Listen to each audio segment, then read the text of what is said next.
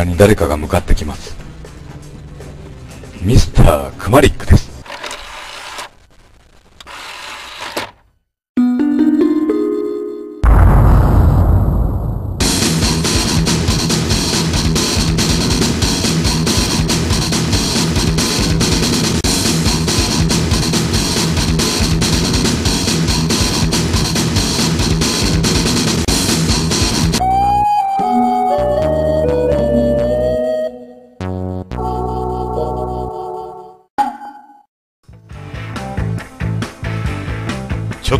なら覚えちゃえるが15年前だとちとわからねえな。その15年前にこの映画は誕生していた。今多くの映画ファンからの再放映への期待が高まり最新デジタル技術を駆使して現代によみがえる。坂口春子役に声優学校中退の菊江が挑む。そして弟清とその友人の二役を持ち前の超魔術ボイスでミスター・クマリックが見事に演じ抜く。当時のマスターテープからのノイズの除去。エコーリバーブ修正による明瞭なナレーションと BGM との音量バランスの再修正。映像と音声とのトリミング幅の見直しによる見事なるシンクロ化。イコライジングによるハイファイ音声へと大きく生まれ変わり今ここに生命の世紀への新たな一大スペクタクル巨編が誕生した。脚本演出をクマリック自らが担当している。これを見ないで未来は語れない。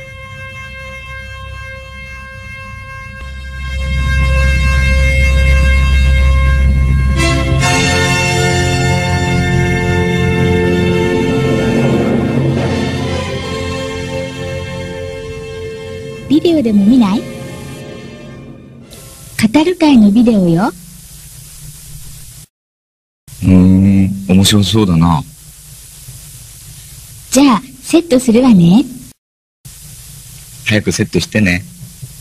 ちょっと待ってよ。今始まるわ。パチッ近日堂々公開あんた地球が何なのさ。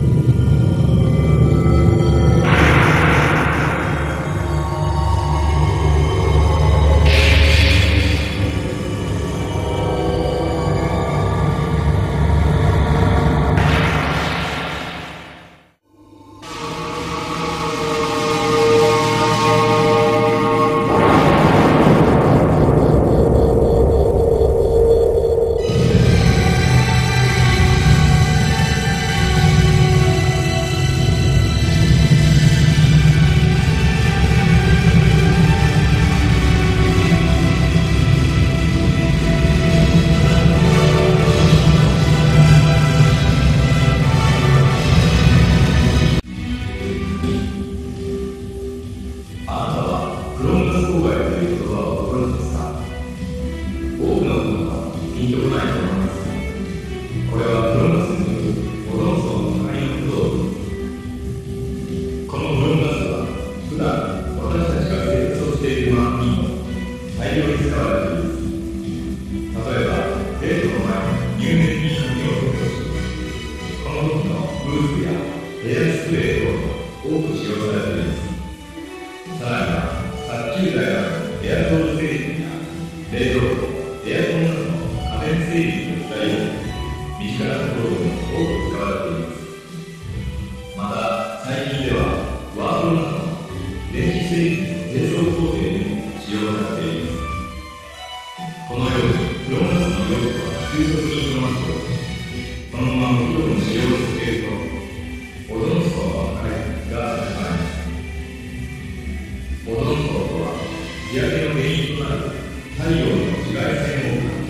Thank you.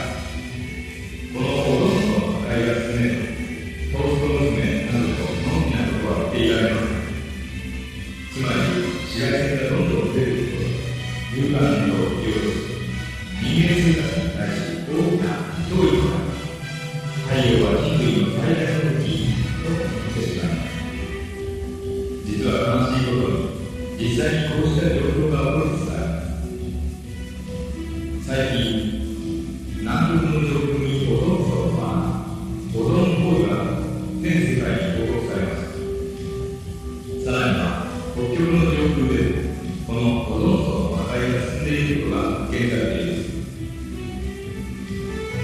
プログラムはもう一つの問題温室効果があります最近の暖冬気になったことはありませんか？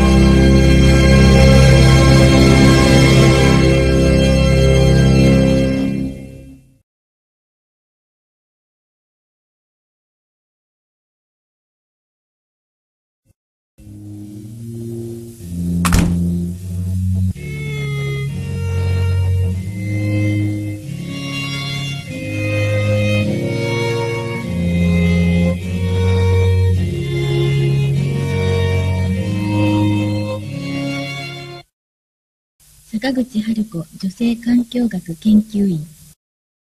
あれ？姉さんどったの？またおこごとでっか？少しは片付けなさいよ。これじゃあまるで汚染の見本じゃないの。ビデオでも見ない？語る会のビデオよ。うーん、面白そうだな。じゃあセットするわね。早くセットしてね。ちょっと待ってよ今始まるわパチッ人口が多くなれば、それだけ人間が出す二酸化炭素も増える。その二酸化炭素が地球を覆って温暖化現象はますます進んでいく。この状態が続けば2075年に世界の平均気温は2.4度から7.1度も上昇すると予測されているわということは、現在の地球の平均気温が15度だから、ちょっとした熱でもぐったりしちゃう。清には答えるよな。お前と違って俺はデリケートにできてんの？極地はもっとはるかに上がるのよ。その結果南極の氷が溶けて。え、南極の氷が溶けてしまうの？氷山が溶けると海水が増え地球的規模で海水面が上昇するのよ現にトロント大学の地球物理学者らのリポートで1920年から70年の50年間に毎年2ミリ強の割合で上昇していたことが明らかにされたわ。ひえ、もう南極の氷は溶け始めているの？今後50年から60年間で少なくとも5メートルは上昇すると警告した環境保護団体もあるのよ。うわぁ、それじゃあ東京はいつかは水没しちゃうのかい？金星は大気の98%が二酸化炭素で表面温度は摂氏480度 C 水のない灼熱地獄で今も温室効果で過剰に加熱している。それは地球よりわずか4000万キロほど太陽に近すぎたために水蒸気は強烈な紫外線によって水素と酸素に分解されてなくなってしまったからなのよだからこれ以上温室効果が進むと地球は金星のように水のない惑星になってしまうかもしれないか。温室効果のある化学物質にはその他にフロンガス、メタン、消気ガスなどがあるのよ。これらの気体は二酸化炭素よりずっと少ないけど、フロンが約5%、メタンが約1から2%、消気ガスが約0.6%と年々増えていることが問題なのよ。特にフロンガスはオゾン層を破壊する最悪の有害物質なのよ。しかも自然に分解するのに75年ないし100年もかかるから、今生産や放出をやめたとしても今後100年から200年にわたってオゾン層を破壊していくのよ。フロンガスがオゾン層を破壊ってどういうことなんだい？それじゃあ地球の大気圏を説明するわね。大気圏には対流圏、成層圏、中間圏、熱圏というのがあって、オゾンは上空25キロ以上の成層圏で生成される。そして大気中ではオゾンだけが有害な紫外線を上空で吸収できるのよ。危険な紫外線をカットする役割を果たしているのがオゾン層。そのオゾン層をフロンガスが破壊しつつある。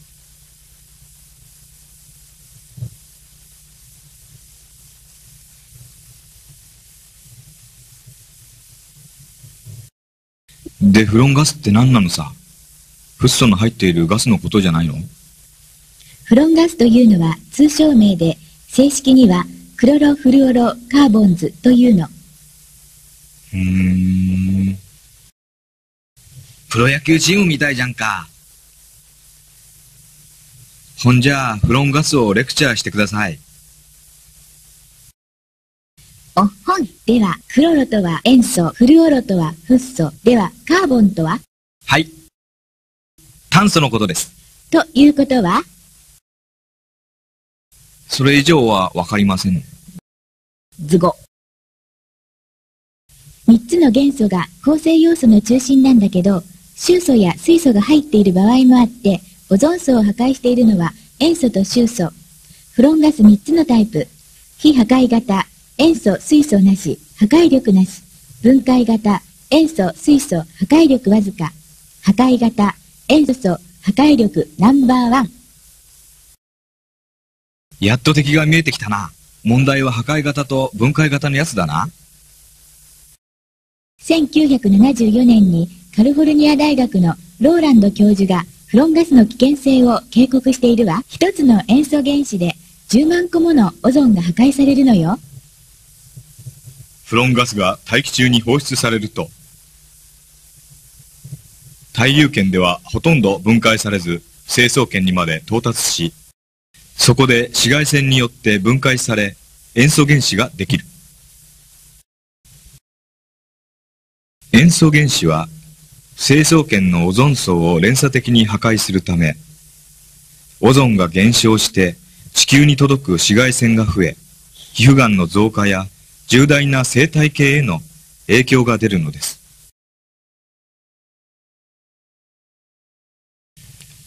そして、1985年、イギリス南極調査隊が、南極上空にオゾンの穴、オゾンホールがあるという報告を発表した。また、オゾンホールがアメリカ本土並みの大きさになっているという報告も。さらに、北極上空でもオゾン層の破壊が進んでいることが発見されたわ。今後、地球規模でオゾンホールが拡大していくのではないかと指摘されているのよ。人類に初めてオゾンホールを見せて、ニンバス7号。ほんじゃ、フロンガスなんか、使わなければいいじゃん。清は使ってないというの？ああ、ヘアスプレーか。暮らしの中でフロンガスがどんなに使われているか、次の画面をどうぞ。ワープロ、スプレー。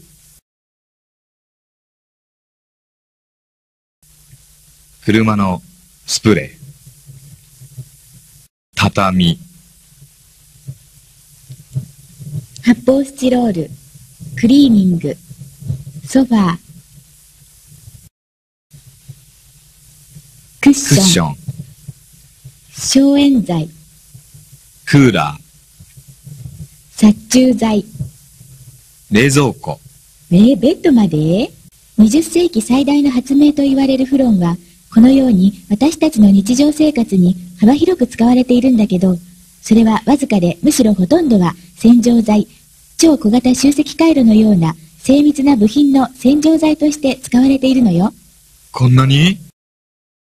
最近ではフロンガスの温室効果も問題になってきているのよ。フロンガスは世界で毎年約100万トンも生産されていて、そのうち15%ぐらいは日本で生産されているんだから。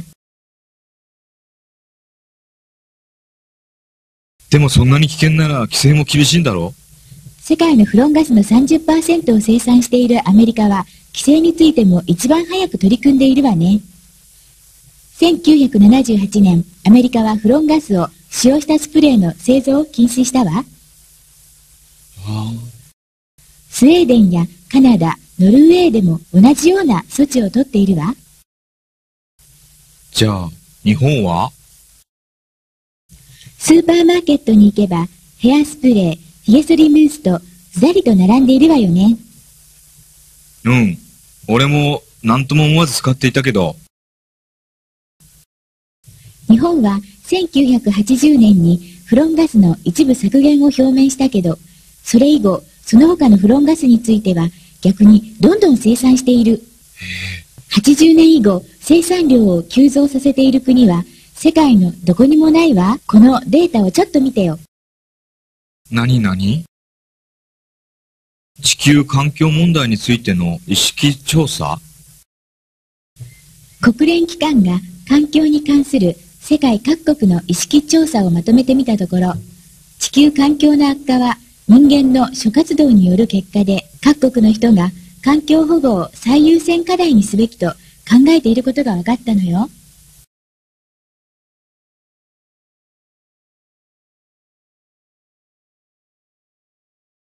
うーん。自国の環境については、サウジアラビア以外の13カ国の大多数が今後悪くなると回答している。ところが日本では80%以上の人が関心が薄いとの結果である。げ、俺たちの心見通されてる。また、ほとんどの国がより厳しい法規制を求めている。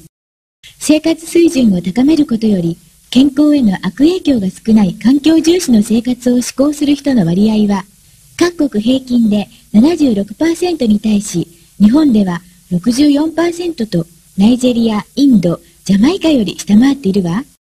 うーん、日本は一歩遅れているな。じゃあ、この調査についてはどう？うん、85%の人が環境問題に何らかの関心を持っていながら、環境に良くない商品を買わない人は2割足らず、やむを得ず買うが50.8%。